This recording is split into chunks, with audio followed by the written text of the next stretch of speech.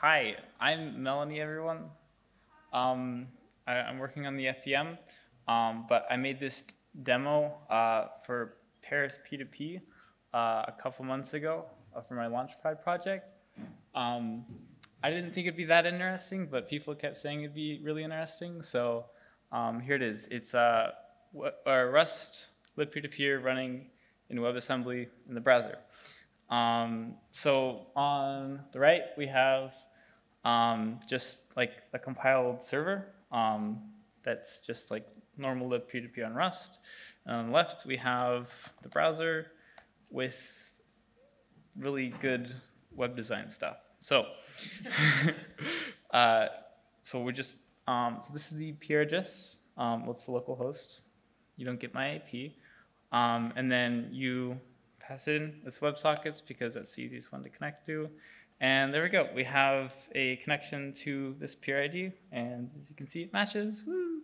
And then we have Gossip Sub, um, which is actually something I didn't have in the last demo. So um, we'll test with a message. So uh, hello world.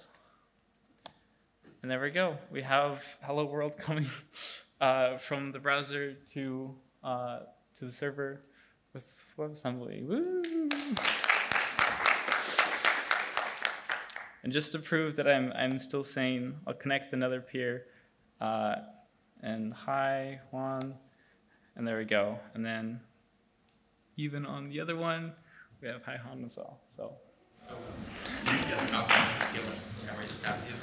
This tab is using? Uh, yeah, sure, sure, sure. About permission tell you that. Or, oh. Um,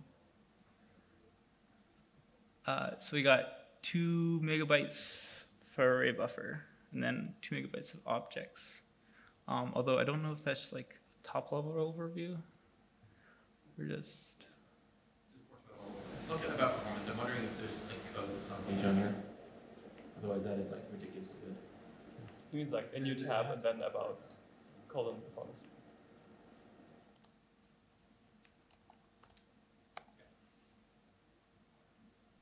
Uh, uBlock, all my extensions, Tavi, Wasm demo, three megabytes, yeah. Well, there's two instances running, so yeah. Yeah. Ooh. You, hmm? you try to connect uh, into, I know, bigger Um, well, uh, bigger as in how? Like, I don't know, having like. Or, hundreds of peers? Um, no, and I have not connected to more than a couple connections at the same time. Um, IO throughput is also not tested or benchmarked, um, which is why I, whenever I try to do this talk, or not talk, it's not a talk, it's a demo. Whenever I do the demo, I, I put warning flags, or try to say warning flags, it's like, this probably won't be as fast as JavaScript um, because you know JavaScript is optimized and it has direct bindings to the I/O that the browser gives it. Um, so like it's not faster, but you have it now. Um, it is an option, um, and uh, this demo only works with Gossip Sub um, with a PR that has to be opened in libp2p Rust. Um, so you'll have to wait for that, but um, the previous demo does if it's just flood sub. Um, yeah. Oh, and package size. Um, I think I want to do that as well. Um, cargo bloat. Uh,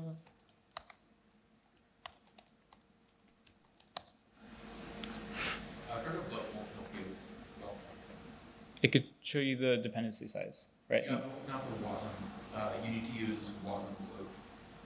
Uh, I don't know if I have that tool. Like, or WASM. No, There's another. T something.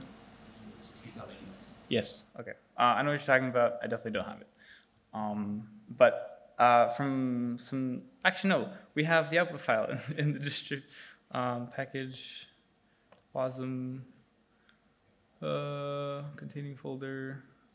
1.4 megabytes. Um, yeah, and that's not um, compressed or anything with gzip. So. That's all Rust Yes. I, are you running Wasm opt over it?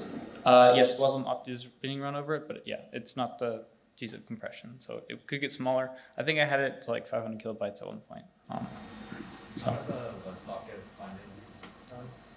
Uh, the WebSocket bindings are done with an awesome thing that someone else made. Uh, um, for it's actually part of libp2p currently. Um, it's the WebAssembly or yeah, uh, WASM ext. It's a cargo flag. Um, uh, WASM ext WebSockets. So here. Yep. Um, theoretically, you could have more transports, but yeah. Okay, um, that's the end of my demo. Do you have questions? Will you be taking questions? Oh yeah, sure. I'll take questions.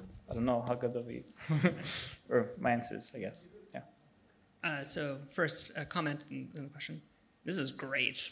I love this. Okay. uh, now, now, now the question. Um, what are the downsides? Like, is there a maximum throughput this thing can do? Like, doing this in WASM versus doing this in Rust. What are the trade-offs? Other than Um, obviously it's single-threaded, right? But Yes, it's it's single threaded, very much so. Um, if you try to do multi threaded stuff, it gets weird and complicated really quick, and you lose performance right away. Um, uh, I wouldn't like try to embed this in like Node.js and like have this as the I/O like the peer-to-peer thing. Just I no. um, but uh, performance-wise and throughput, it needs to get benchmarked, and it'd be cool if other people can help out with that. Um, especially just making this like a fully fledged thing. This is very much a hacky project, um, but definitely having like, uh, yeah, benchmarks would be cool, uh, and then we could start comparing against JS, and then um, we can make some arguments to, for and against. Um, doing more things as well, because you can do throughput raw throughput of just like into WebAssembly in the browser and out of WebAssembly. Yeah. Okay, thank you guys.